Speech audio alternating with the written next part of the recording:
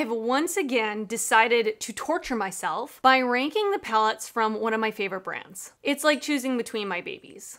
Welcome if you are new here. My name is Rachel, and if you're not new here, thank you so much for coming back. Today I am going to be ranking all of my Nomad eyeshadow palettes. Like I just said, Nomad is one of my favorite brands, and they come out with amazing eyeshadow palettes. Their color stories are so unique, and they are an indie brand that makes palettes, collections based on different destinations around the world. So everything that they do is so well thought out. And I do get a lot of questions. I mean, not a lot. I have like 6,000 subscribers, so I'm not that famous. I do occasionally get questions about which Nomad palette to buy. And so I hope today I can give you a little bit of info about each palette that I have that might kind of make you decide if you are interested in picking up a palette which one would be right for you. I'm gonna link all the palettes down below in the description box as well as everything that's on my face today. All right, let's get to it. I'm gonna first start off by saying I like all of these palettes. None of them are bad at all whatsoever. But one thing about Nomad that I do think is very unique and interesting, and I think it's a plus with them, I feel like with each of their palettes, they have something a little bit different about them in terms of formula, in terms of finish of the shadows. So I feel like there is a palette for everyone. So these are based on my own preference which ones I'm gonna reach for more over the other, which one I just happen to be drawn to over the other. And like I said, this was really hard. This was really, really hard. okay, enough. Coming in at number eight, I have the Santa's Village palette. This was their holiday palette. And by the way, sometimes I do keep their outer cartons because their packaging is so cool. So the outer carton has a cutout of Santa on it. And the destination for this one is Lapland, Florida. Lapland, I almost said Florida. no. Lapland, Finland. And here is the cover, just beautiful, beautiful night sky with the northern lights, just gorgeous. And then on the inside, you have this nine pan palette so let me describe the formula to you with this. So I feel like the mattes in this are really nice. They are, I would say, in the middle in terms of pigmentation. They're not overly pigmented, but they're not sheer. They're right in the middle. They're easy to work with. The shimmers in this are a lot more of a topper type of shimmer. So very sparkly, but not much of a base to them. So really just piecey. So if you like a very opaque metallic shimmer, and that's strictly what you go for, you probably wouldn't be drawn to this. There are plenty of other palettes that I have in the stack in front of me that have that type of shimmer formula. But if you like to sometimes mix up your shadows, I know a lot of people didn't love the shimmers because they are quite hard pressed. You're not gonna get a ton of pigment on your eye with these shimmers. So, well, with that being said, I think the shimmers are nice. Like they're not my favorite shimmer formula, but they're good. The only reason this is kind of coming in at the bottom is, like I said, the shimmer formula is not my favorite shimmer formula. And I'm not a big fan of the color story. Like the actual matte colors, I don't really feel like I can pair them together that well with my creativity in my brain. But what I do do is use this either as a companion palette or I use one matte and one shimmer and call it a day. And I have created some really beautiful looks with these palettes. I have videos on a per, I think almost every palette that I have in front of me. So if I do have a video with this palette, I will link it down below in the description box as well. But yep, this one is coming in at number eight. I hope they come out with more nine pans in the future because I love a nine pan palette. Okay, now from here on out, it was really hard to rank everything. Like, I kind of knew what my top two or three were gonna be, but all these ones in the middle, they really could shift around. Honestly, they could really shift around. If you ask me two months from now, they might shift into a different position because I really love all of these palettes. I enjoy them. They're not like my favorite, favorite palettes of the ones I have, but I do really like them. So anyway, enough. Coming in number seven, I have the Bosque Nuboso de Monteverde, which is the Cloud Forest Preserve in Monteverde, Costa Rica. I kept the outer carton on this one as well because we've got cutouts of some of the animals. The sloth, absolutely love. And then when you open it up, you've got this beautiful, beautiful rainforest scape on the cover. And by the way, anytime you get a package from Nomad, opening it is a whole experience. They usually include a postcard with the destination, and it's a really cool, cool experience opening up their palettes. And then when you open it up to see the inside, you have this beautiful, beautiful, bright, fun color story, which I think is perfect for any time of year, obviously, but I think of summertime when I look at this. Tropical vacation. I would say, personally, for me, I think the quality and like formulas in this palette are my favorite of all the palettes. The mattes, for my preference, are just perfect. Pigmentation where they do build up to look like the pan, which is hard to do with these bright shades, but they're not hard to blend out. They're not scary to use. They don't cause a ton of fallout. They're just spectacular mattes. And then these shimmers are that wet, metallic, slightly sparkly, not too textured, not chunky, but just absolutely beautiful shimmer formula that I personally love. You also do get one duochrome in here that is like a green to pink, which is really interesting, but absolutely love the formula of this palette. And this is the one I would suggest to you if you are a color lover, this is the number one palette I would suggest to you from Nomad because I think the formula of this is just spectacular. The only reason it's coming in at this number is just because I don't reach for colors like this very often. I'm not that exciting. I'm pretty boring. But uh, when I do want to reach for these shades, this is the palette I'm reaching for. Coming in at number six, I have what I'm wearing on my eyes today, which is their newest palette, the Royal Europe palette. So I love the packaging on this. It's got this textured front and it's got layers and layers and layers and layers to create this beautiful texture. And you open it up and this is a jewel tone lover's dream. You've got beautiful saturated jewel tones that go with that royalty vibe. You know what I mean? Something different that they've done with this palette is there's a row of multichromes on the bottom. This one I did receive in PR. The other two I did purchase myself. I'll try to make sure I let you know about that. Uh, I love that they've done this in columns where you can stick to a column to create a cohesive look without really having to think too hard, which I absolutely love for someone who's not like the most creative person in the world. Really love the layout. Now, the only reason it's coming in like at this part is just, again, color story wise, these aren't like the ones I'm gonna reach for the most. And let me describe the formula to you so you can get an idea if this would be right for you. These mattes are very pigmented, extremely pigmented. I find that they can sometimes be a little bit more work and they require a little bit more finagling, if you will. But with that being said, if you like ultra pigmented shadows, you want it to be right off the bat pow, like in your face pigment. This is a good palette for you. I would say these are the most pigmented of the ones that I've used from the brand. And then I also love, love these multichromes. I think the formula of these is so beautiful. They're very smooth. But what I love about these multichromes is that they're not so emollient that they crease. Like I don't have any problem with these creasing on me, even with a glitter primer. They really just glide over the lid. They don't create weird texture, weird bumps on my eyes.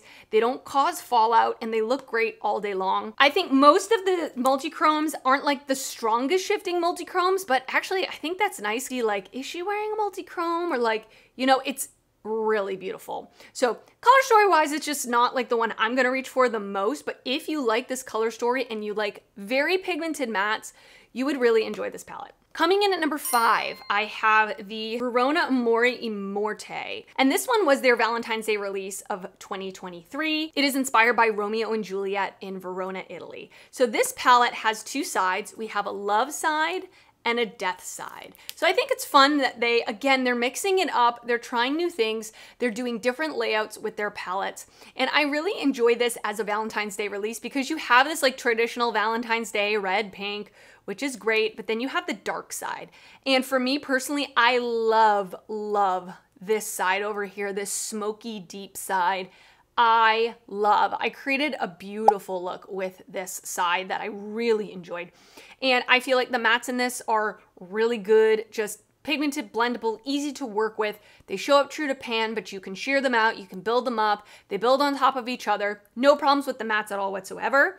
I would say that the shimmer formula in this is not as metallic, not as wet looking, apart from a couple of the shadows, like all the ones on the love side are a little bit more of that coppery, drier, but sparkly formula. And then on the death side, this one down here, Tragedy, is a duochrome from like, or maybe a multichrome. Well, it shifts from like green to purple to black. And then this one up here, Moors, is more of a traditional metallic. So different textures with the metallics in here, but the mattes are just so easy to use, really beautifully blendable. I like the two-sided, double-sided layout. So this is coming in at number five. Coming in at number four, I have the Whistler Snow Lodge palette. I remember when I first got this, I thought it was just a wintry dream. Like, I see myself at a ski resort, just in the ski lodge. Like, I wanna be on the couch with a blanket with like a cup of coffee reading my book.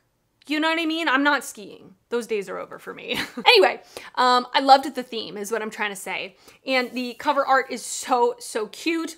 I remember it came with a coaster, like you would get at the bar at the Snow Lodge. It was so cool.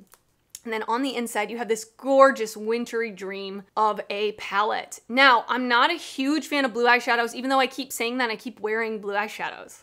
But these tones of blue, I actually absolutely love. These more like powder, true blues. I also really love the mints, like so beautiful. And then of course you've got some neutrals as well.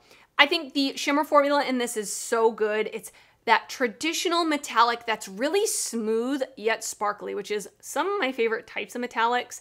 I don't love like super textured chunky metallics. They're not my favorite type of metallic, but these ones are really smooth, really metallic. The only one that's not quite is Powder Specialist, which is a duochrome from white to pink. That one is a little bit more on the powdery side. Powder Specialist, powdery side, get it? But I love the color story of this. I love the tones. It's so interesting. It captures the vibe. The quality is great. I love that you've got light to deep in both the mattes and the metallics. You've got everything I need in this palette, and I love it. Okay, now we have the top three. I'm so excited. Coming in at number three, I have the Fête de Provence palette. This, I remember when they first dropped the photos of this on Instagram. I literally gasped. I was so drawn to the color story. I'm drawn to the theme. It is inspired by France. And the outer packaging is so beautiful. And then on the inside, it literally matches the outside perfectly.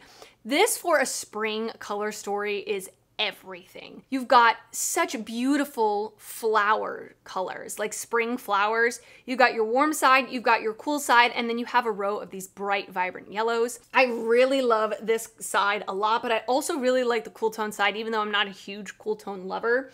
I think the mattes in this are really, really nice. I would say more in that mid range of not overly pigmented, not sheer. They're easy to work with. They are really nice. They're really nice mattes. And then the shimmer formula in this, they've got a few different shimmer formulas. You have more traditional metallics. You have a duochrome that's like white to green, but it is quite subtle, but it's really, really beautiful. And then these two metallics over here are more on like the satin side. They're a little softer, but I think it's totally appropriate for this spring color story when you do want to use these colors, maybe just have a, like a light little soft look to the eye absolutely love this palette. It's one of my favorite palettes for sure from Nomad. All right, now coming in at number two, I have the Hudson Valley palette. Okay, packaging, 10 out of 10. It feels like a paper bag. Like when you go apple picking and you have a paper bag, that's what this feels like. The texture is just nostalgic. I'm from New England, so I love it. I don't live in New England anymore. I live in Florida, but it does remind me of home when I like look at this and touch it. So I absolutely love that. This is inspired by Hudson Valley, New York, upstate New York. And then on the inside, oh my goodness, a fall dream a fall dream. You've got your fall leaf colors here, which I love warm tones and I love mattes. So I love that this is matte heavy. All of the mattes in this palette are just that beautiful amazing Nomad quality where they're pigmented and blendable. They don't cause a ton of fallout. They're not hard to work with. They show up true to pan. They're really, really buttery smooth, really beautiful. And then these three metallics in the middle are just that beautiful metallic, shiny, slightly sparkly, not super textured, not chunky, really gorgeous. And then you have the cool tone side, which I always say this is like fall turning into winter, where like the fall leaves are turning, and then when the leaves fall off the trees and it's starting to get a little drab, kind of heading to winter, that's what I feel like is happening here. If you like a matte heavy palette and you like this color story, I think you would not be disappointed at all whatsoever. And then coming in at number one, can I get a drum roll, please? I have the Haunted Europe palette. This is my first ever palette that I bought from Nomad, and this isn't available anymore. So I'm so sorry. I'm so sorry that I'm like shouting its praises, but I have to be honest with you. This is my favorite palette. This is celebrating the medieval Europe, like the castles of Europe. So love, love, love the theme, love a spooky theme. And I love the holographic cover. So cool. And then the color story is what dreams are made of. Oh my goodness. It's grungy, it's smoky, but it's also light and bright. It's neutral, but we've got some pops of color love, love the color story of this. I feel inspired every time I look at this. I love it. It just makes me so happy. The formulas in this are really good. The mattes are really blendable, really easy to use. They are, I wouldn't say like super pigmented. They are a little bit more on that like buildable side, which I, I like. And then the shimmers in this are really pretty. They're a little bit more of just that like traditional metallic, really soft, just really easy to work with. You've got dark shimmers, you've got light shimmers, you've got neutrals. They're just just really, really pretty. They're not overly wet, like they're not gonna crease on your eyes, but they do give that sparkle. I'm so always so caught up with testing new palettes, like what's coming out, what's coming out. I'm trying to like test new things. And on my birthday last year, I, I said, you know what? I'm not gonna test a new palette. I wanna pick out some palette in my collection to play with just for me today. I'm not gonna film it. I'm just gonna have fun putting on my makeup. Any palette, and I have a lot of palettes, you guys, a lot any palette in my collection, and this is the one I chose to play with because it is one of my favorite palettes in my entire collection. I absolutely love it. All right, and that is it for this Nomad palette ranking. I hope you enjoyed it. Like I said, all of these palettes are good. I hope I gave you a little bit of information if you were curious about the brand, which palette you might be interested in, or if you're not interested in picking any of these up, I'm glad that you're here. I hope I entertained you for however long this video is. And now I wanna hear your thoughts. Do you have Nomad palettes? What's your favorite Nomad palette? If you don't own any Nomad palettes, which palette that you saw me introduce today would be like your vibe? Which is the one you would be drawn to the most? I would love to know your thoughts. I love hearing from you. And if you did enjoy this video, please give it a thumbs up. That helps me out a lot when you do that. And if you're not already subscribed to my channel, I would love it if you would consider subscribing before you leave. I do upload videos weekly, both beauty and fashion videos, and I would love to see you back on my channel again. I want to thank you so much for watching, and I will see you next time. Bye. Thank you.